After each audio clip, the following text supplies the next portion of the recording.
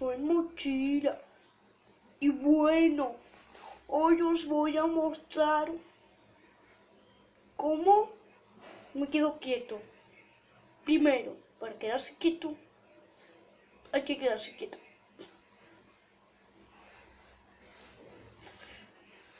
Segundo, soy Pedro.